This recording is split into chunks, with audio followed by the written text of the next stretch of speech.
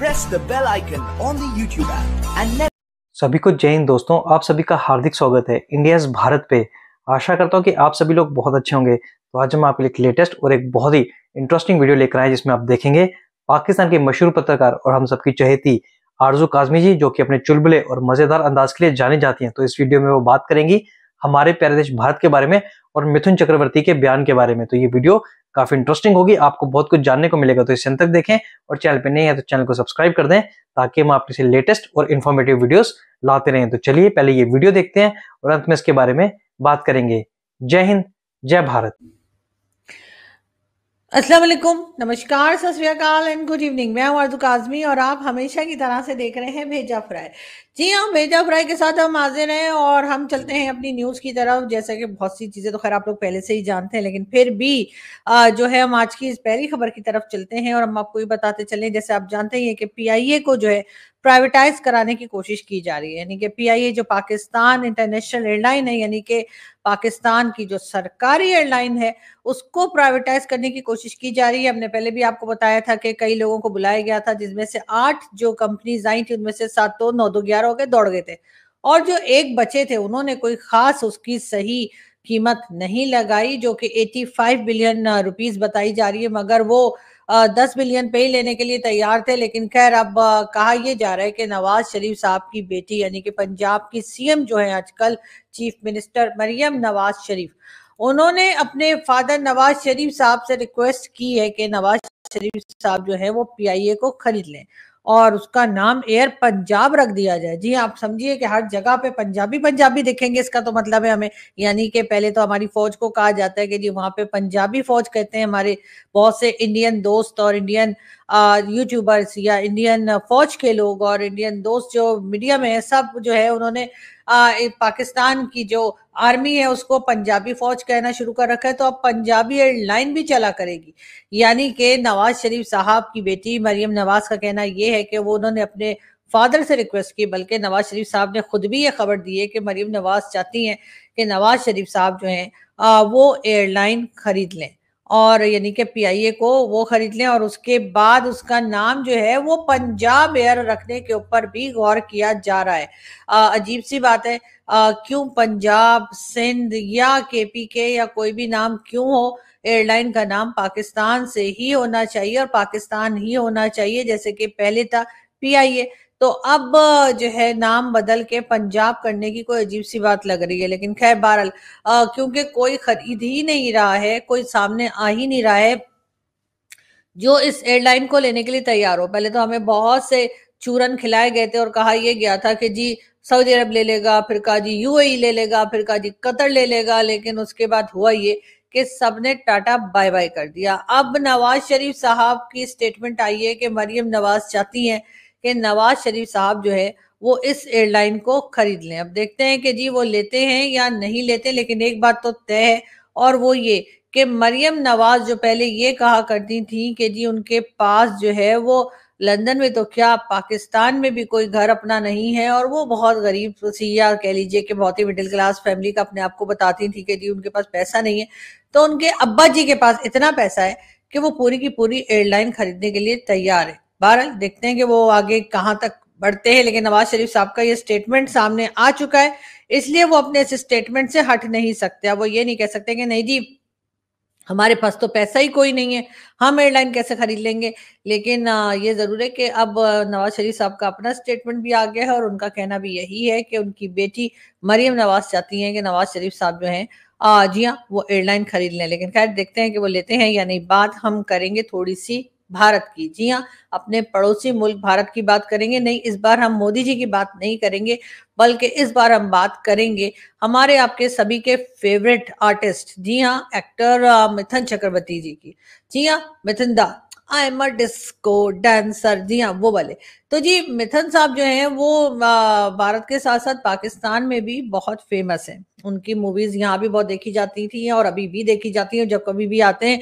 लेकिन खैर लास्ट मैंने उनकी जो देखी थी, वो थी ओ माई गॉड और उसमें उन्होंने बहुत ज़बरदस्त काम किया था। लेकिन यहाँ पे हम बात कुछ अलग कर रहे हैं। मिथन जी जो हैं, वो बीजेपी के मेंबर भी हैं और अभी रिसेंटली उन्होंने एक जगह पर कोई पॉलिटिकल रैली या इवेंट था, वहाँ पर बात की। और उसके बाद उनकी जो बात थी, उनकी कहे हुए जो वर्ड्स थे, वो एकदम वायरल कर दी गई। और हर तरह से ये बताया गया कि मिथुन चक्रवर्ती जी ने ये कहा है कि वो मुसलमानों को जो है काट कर नदी में फेंक देंगे। ठीक है? ये चीज़ जो है, ये पाकिस्तान से ही नहीं, पाकिस्तान वाले तो बहुत बाद में शुरू हुए। उससे बहुत पहले भारत के जो मुस्लिम्स हैं, कई मुस्लिम आईडीज जो वेल नोन किस्म के लोग भी हैं और ट्विटर पे और हर जगह एक्टिव हैं। उन्होंने भी ये कहा कि जी मिथुन चक्रवर्ती ने हेट स्पीच की है। लेकिन ये हेट स्पीच उन्होंने क्यों की है या ये वर्ड्स उन्होंने क्यों बोले हैं ये बताने की जहमत किसी ने की, नहीं की। यहाँ पे मैं ये बताती चलूँ कि इस वीडियो क्लिप जो हम आपको दिखा नहीं सकते कि हो सकता कोई कॉपीराइट वगैरह का इशू ना हो जाए या आप सोशल मीडिया पे जाएँगे तो बहुत इजीली अवेलेबल है वहाँ पर।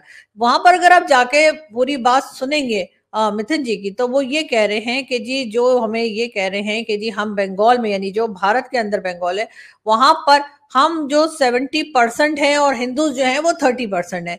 तो हम 70 परसेंट लोग जो है, उन 30 परसेंट लोगों को काट कर नदी में फेंक देंगे। ठीक है? ये उन्होंने कहा तो उसके जवाब में मिथुन जी ने ये कहा कि जी ऐसा करोगे तो हम भी काट के नदी में फेंक देंगे मतलब जैसे को तैसा। अब जिसने पहले बात की, उनका नाम जो बताया जा रहा है, हुमायूं, अः, हुमायूं कबीर। हुमायूं कबीर कोई टीएमसी के कोई मेंबर है? टीएमसी कोई, मेरे ख्याल कोई पॉलिटिकल पार्टी है या कुछ है? ये हमारे इंडियन जो फॉलोअर्स हैं सब्सक्राइबर्स हैं या दोस्त हैं, वो हमें ज़्यादा अच्छा गाइड कर सकेंगे लेकिन बहरहाल ये कोई पॉलिटिकल पार्टी है, ठीक है? और या उसका विंग है। और वहाँ पे जी ये जो है, इनका नाम है हुमायूं कबीर। उन्होंने पहले ये बात की कि जी हम जो सेवेंटी परसेंट है मुस्लिम वहाँ पे बंगाल में, या यानी जो इंडिया में जो बंगाल है, वहाँ पे, और हम उसमें थर्टी परसेंट हिंदू जो है उनको काट के नदी में फेंक देंगे। अब ज़ाहिर है, ऐसी बात कोई भी सुनेगा, उसको बुरा लगेगा और अगर वो जवाब देगा तो वो कुछ इसी तरीके का रिप्लाई होगा जैसा मिथिन जी ने दिया कि जी, आप हमें काट के क्या डालोगे? हम भी आपको काट के डाल देंगे नदी में। तो उन्होंने यही बात जो है मिथिन दा ने अपनी जो स्पीच थी, अपने इवेंट में जो वो बात कर रहे थे, वहाँ पर किया अब इस बात को लेकर, हालाँकि वो पहला क्लिप जो या पहली बात जो है, वो भी उसके साथ ही सुन सुन सकते हैं आप अगर कोई सुनना चाहे।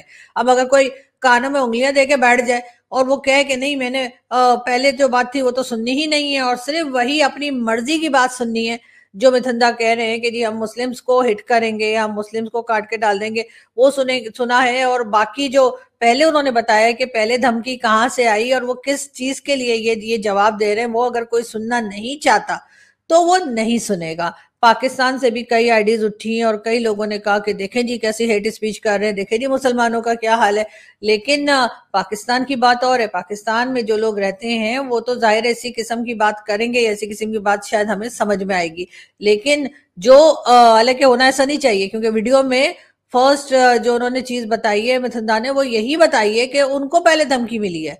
जो लोग रहते हैं मतलब जो थर्टी परसेंट हिंदूज हैं उस एरिया में, उनको पहले मुस्लिम्स की तरफ़ से ये थ्रेट आया। उसके बाद उन्होंने जवाब में कहा है कि भाई, अगर तुम ऐसा करोगे तो हम भी ऐसा करेंगे।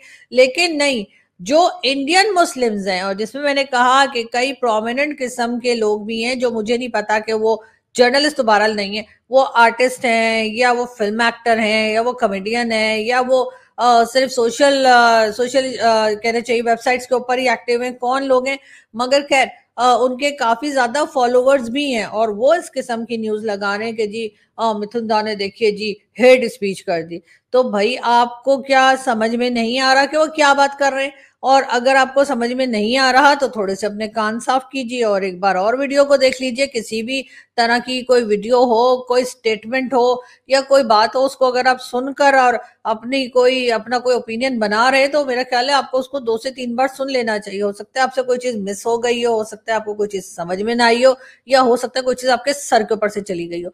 तो बहरहाल ये चीज़ हुई है और उसके बाद मिथुन, जिनका एक बहुत अच्छा नाम है, या कह लीजिए जिन, जिनको बहुत एक लोग पसंद करते हैं एज एक्टर बहुत ज़्यादा पसंद करते हैं, क्योंकि उनके पॉलिटिकल कैरियर का हमें इतना नहीं पता, लेकिन एज एन एक्टर हमारे यहाँ उनको बहुत पसंद किया जाता है। एकदम से उनके खिलाफ जो है वो स्टेटमेंट्स चलनी शुरू हो गई हैं, उनके खिलाफ जो है, लोगों ने सोशल मीडिया पर बोलना शुरू कर दिया और कहना शुरू कर दिया।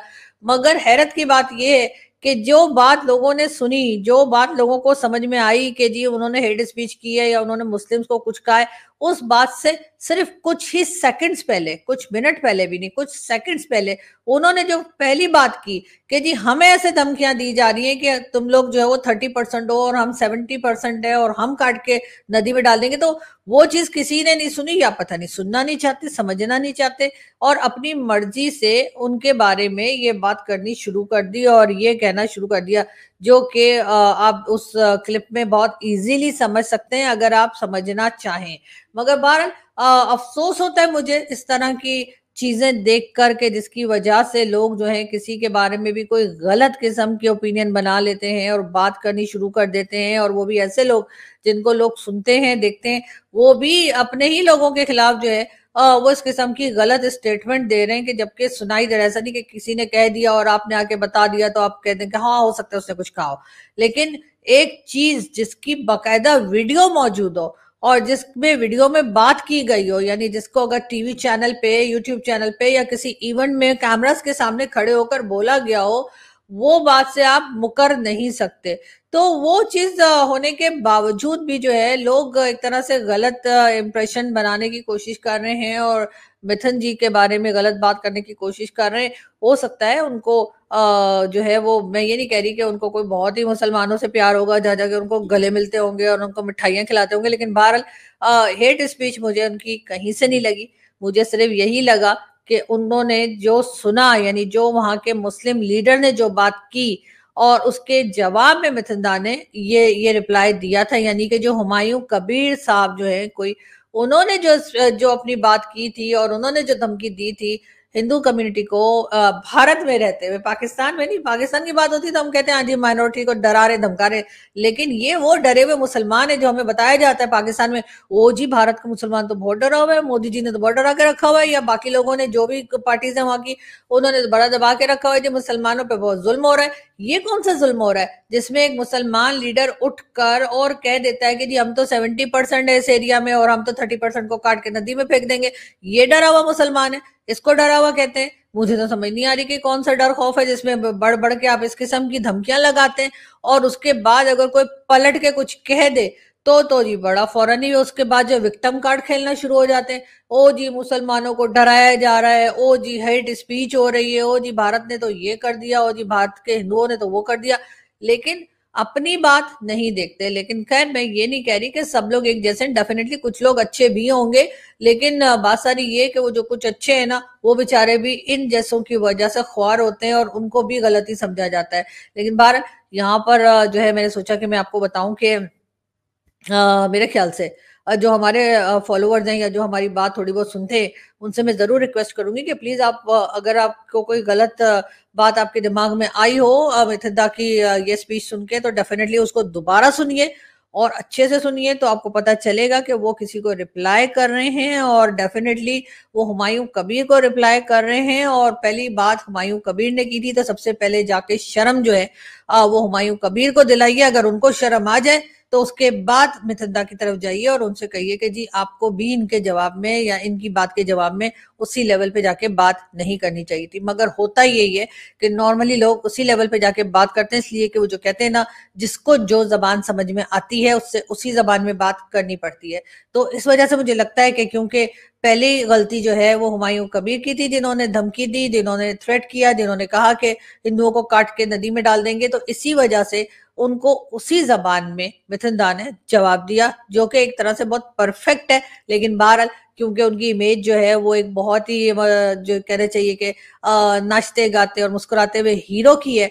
तो इस वजह से शायद लोगों को ये बात जो थी, वो हजम नहीं दोस्तों, आशा करता हूँ कि वीडियो को आपने अंत तक देखा होगा और हमेशा की तरह आरज़ू कासमी जी की बातें, उनका पॉइंट ऑफ़ व्यू आपको काफ़ी पसंद आया होगा और इस वीडियो में आपको बहुत कुछ जानने को मिला होगा। तो ये वीडियो अगर आपको अच्छी लगी है, इसे लाइक और शेयर ज़रूर कर दे और अपने विचार हमें कमेंट सेक्शन में लिखकर ज़रूर बताएँ और एक बार फिर चैनल पर नहीं है तो चैनल को सब्सक्राइब कर दें ताकि हम आपके से लेटेस्ट इंटरेस्टिंग और मज़ेदार वीडियोस लाते रहें। जय हिंद, जय भारत।